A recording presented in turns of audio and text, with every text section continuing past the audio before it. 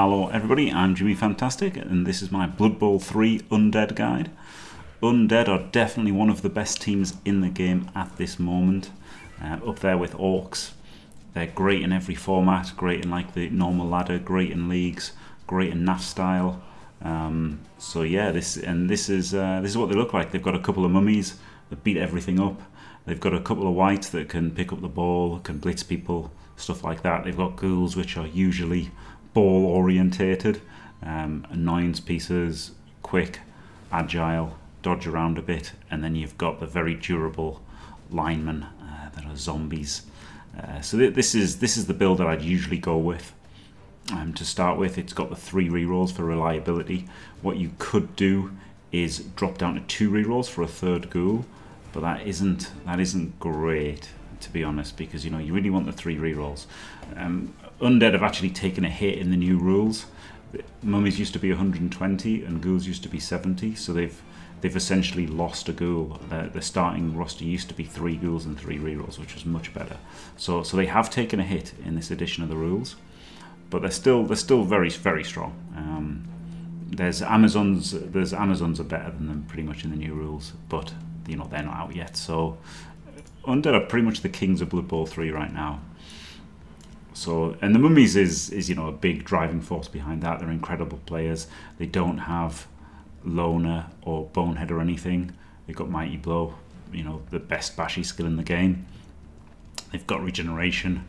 So, like most of the team has regeneration. Every time you cast on a 4 plus, it doesn't matter. So, you know, that's like, it's way, way better than having an apothecary. Way better than having an apothecary, having multiple regen players. Um, so they're only movement 3, that's like the big weakness is movement 3. Strength 5 is amazing. Edge 5 doesn't really matter, they're not going to dodge. Navy 10 plus is pretty good. Um, they're skill wise, generals are second. Generals are secondary for them. Strength is primary. So the most important skills are block and guard. And um, you're gonna, you know, which one you take first would depend on how many star player points he was on and how long you were playing the team for and what your ultimate goal was with the team. Usually, um, I, I guess I'd say guard first is better in the short term, block first is kind of better in the medium to long term.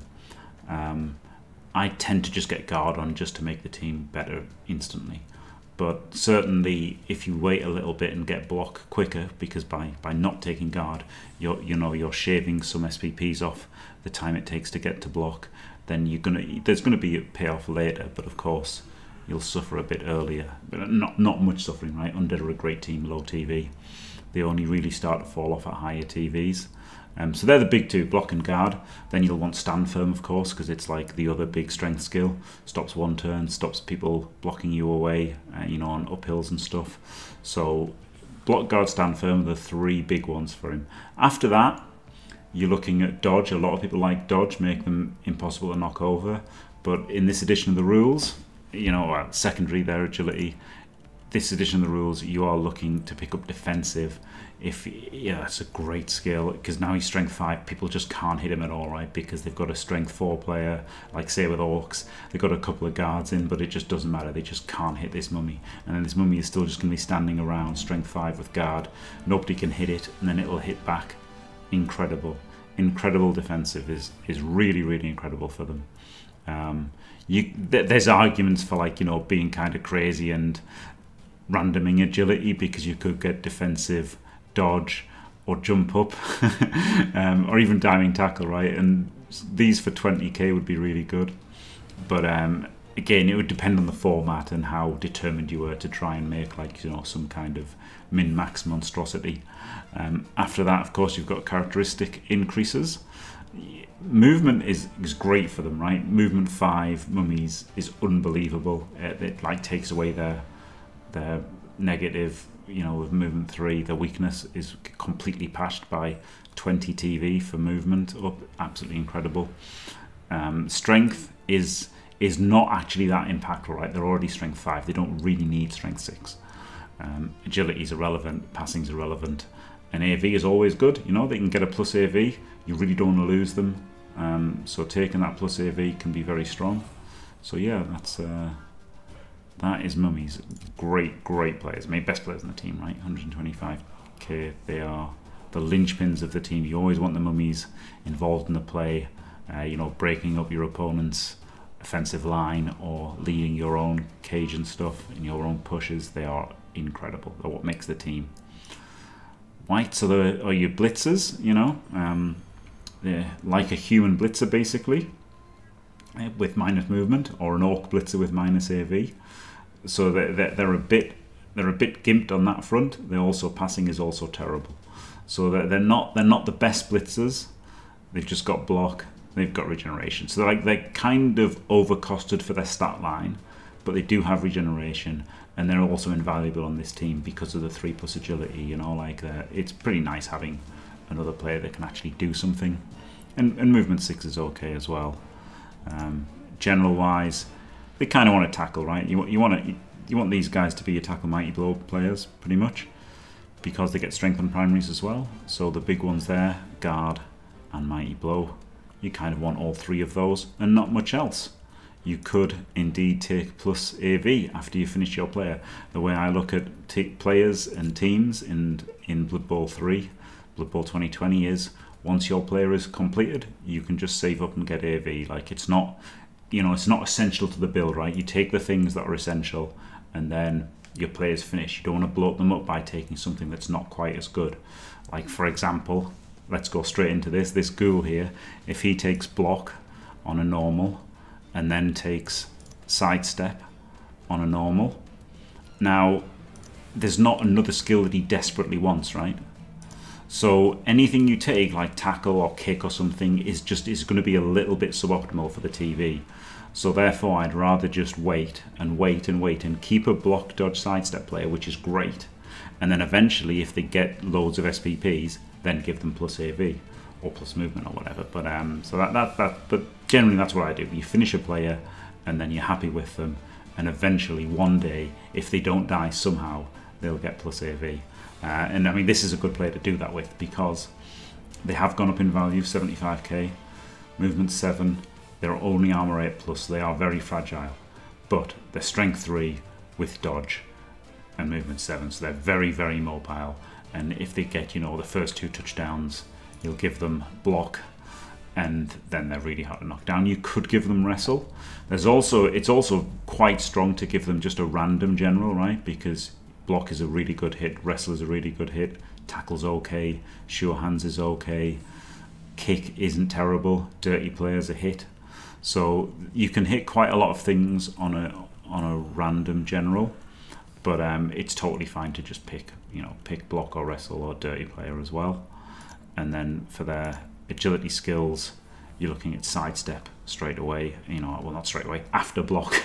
um, also, if you know if you go wrestle, then you could take tackle, or if you random tackle, then you could pick wrestle and stuff stuff like this. So it gives you those kind of options. But agility wise, yeah, sidestep after block. Um, you've also got sprint sure feet, which is something you can do like if you're building a one turner. That's very much an option due to the fact that movement is guaranteed now if you wait long enough. So again, depending on format, you could make a movement nine, agility two plus, sprint sure feet sidestep player for one turning. Um, that can be good. And also, again, you can random because you're hitting sidestep, sprint and sure feet on one turner, and sneaky git. Sneaky git is incredible.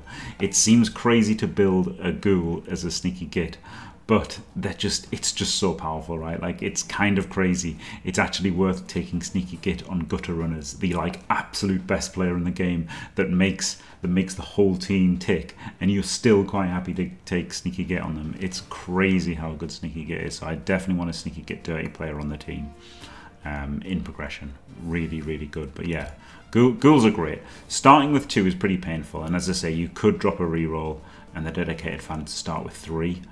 Um, you could even then like st still have 11 players and start with more dedicated fans. Possible, but I do think this is better. Now, uh, now we've got the the lineman here, and it's either a zombie lineman or a skeleton lineman and it, I would never ever well sometimes once in a blue moon I will take skeletons and I'll tell you when I'll take skeletons as like maybe he's the 14th player and he'll only ever see the field if I'm getting diced and loads of my players have died. And if loads of my players have died, then I'm then you know I'm going to need the movement to do something right. I'm in desperation play. The other guy's got loads of guard and stuff, loads of strength, loads of guard, loads of mighty blow. I've got to like make something happen, and then this one extra move might help with that. But um, lots of people say it's better for fouling. They're not really. You know, um, they were they were somewhat better for fouling in on FUMBBL years ago because it was bugged and the fouling took a square of movement. But they're really not better for fouling. Um, they you know they've they've got AV8 plus and thick skull, and they do have PA of six plus, but they're essentially just the same as zombies, except they're trading AV for movement and they're getting thick skull. Um, and it's just not good, right? They, they do get removed the same amount of time as zombies, but they get like they get stunned so much more. They get stunned so much more than zombies, and their job is to stand around and get punched. And you don't want your guys getting punched to be stunned, you know. So the PA doesn't really matter. The movement barely matters. The AV is really good. Um, you what you could do is with us you could take skeletons and you could get plus AV on them and then and then with plus AV you know then they become quite, you know quite a bit better right because they, they're a zombie with a move up and thick skull for 10 TV. So then they're starting to look a lot better if they get plus AV. But it's you know you don't want that many SPPs on a skeleton, and and if you had that many SPPs on a zombie, you'd have dirty play sneaky git, which is way better. So you know that's uh, that's kind of crazy. So yeah, avoid skeletons is my advice.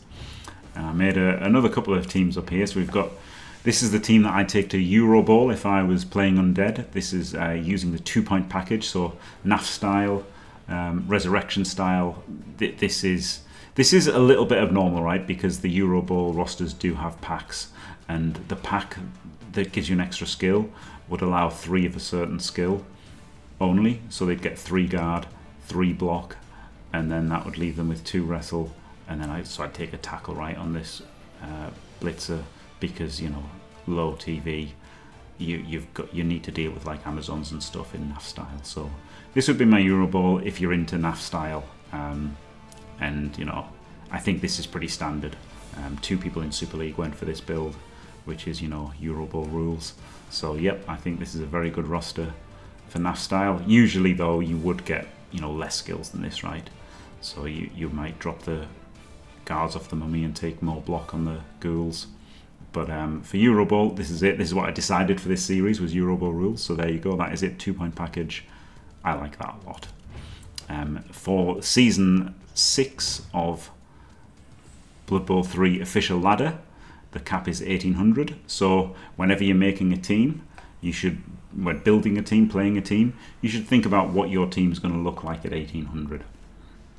And this is what I came up with. I'm not saying this is definitively how I'd want to build them or anything. I just came up with this very quickly, you know, for this video. Um, we're looking at, you know, pretty much the same, right, as the NAF style of four ghouls, 13 players, so you can foul a bit. Still three rerolls. You can't get rid of rerolls in uh, apart from it redraft, and there's no redraft in Blood Bowl 3. So you do have to think, you know, if you if you if you only ever want two rerolls, then you have to start with two rerolls. So there, there is a there is a possibility of that, but I just like rerolls are so good in this format, right? If it, if the cap was 1700, I probably would have two rerolls. It's better to drop rerolls than other things, but you still really want the rerolls to do things. Um, so yeah, so you can see here the mummies, um, block guard stand firm. They're the best skills you can get them. And then we've gone for the defensive here, very expensive, and a couple of AV ups. Like honestly, we could have uh, plus movement there as well. Like there's there's you know like do, do you really need this sneaky git not really. That could be two plus movements on the mummies. That might be better. Like i'm not saying this is great. It's just there's loads of things you can do and it would depend on how many star player points players accrued and stuff. So you would you would want it would be situational uh, along with what other skills are on the team at the time. But you know this is this is your basic thing to think about right? Um, wight guard mighty and tackle and that's pretty obvious. Um, they're the, the, your two best strength skills, basically your two best general skills. Again, you could think about um, like randoming, right? They could random strength because you've got guard, mighty blow, and stand firm would be a hit in that case. You could think about randoming agility for sidestep, dodge, defensive, but it's not great. I think I think just building them like this is is sensible.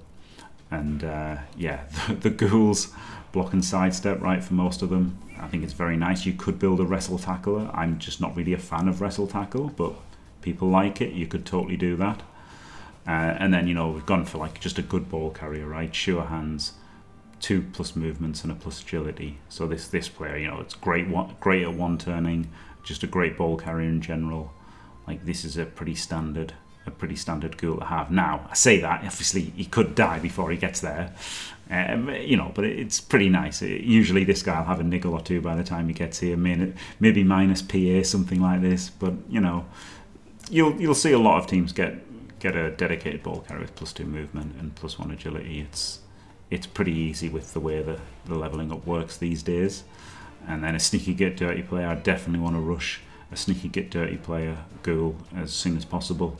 Um, I, I, would I would just pick the sneaky git after six SPP, and then I would pick the uh, dirty player after that as well. I would just I would just speed one, but then after that I would start you know and I'd pick a block sidestepper as well. But then I'd start randoming the other two, and then you know if they got a dirty player for 10k, then all of a sudden that's shaving 10k off this. That's letting you squeeze in another plus AV or a plus movement on the mummy or something. So you know, this this isn't exactly how I'd build these zombies. You know, the early on you can give them block. I didn't actually talk about the skills for zombies, did I? But early on, like if it's the first few games, I give them block because if I'm lacking block, then I want safe blocks. So I'll give them block if if if they level kind of early on in team development. But later on, they ju you just want extra dirty players to foul things and and you know, a dirty player sneaky git would be fine, but you know, this 40 TV on the sneaky git isn't so good. That could definitely be plus movement on the mummies. It would just depend, you know, where, where your SPP fell and what happened. And you know, maybe you could just save zombies and like, you know, random agility and maybe get a sneaky git. Like, you know, random general, maybe get block, wrestle, dirty player, kick, you know, there's, there's kind of, well, not kick, right, because these guys are going to be in the line. I've, I've had kick ghouls before, that's kind of fine. And you know, the ghouls could have tackle. You, you get a lot of options, and again, it would depend on what randoms you rolled. You want to random as much as is feasible for yourself. So if you're willing to play loads of games, then you'll random a lot. If you don't want to, if you don't want to play loads of games, you don't have the time to play loads of games, you don't want to play loads of games, then you've got to you know random less. But um, it, this is just an example of the sort of thing you could build so yeah, that's it. Um, that is the undead build. I'm going to do a run where I play about 20 games. I'm going to I'm going to aim for 20 games, and then I'm going to do like a summary of the game afterwards, a turn by turn summary. So we'll we'll have like the live game, and then the summary and uh, a brief summary. And I'll see how that works. I, I, like the idea, so I'll at least do it for these undead, and uh, you know you can see you can see if you, I'll see if you give it the seal of approval or not. See how much you enjoy it. Uh, but there you go. That's Undead. Thanks for watching, everybody. Don't forget leave a like and subscribe. And stay fantastic.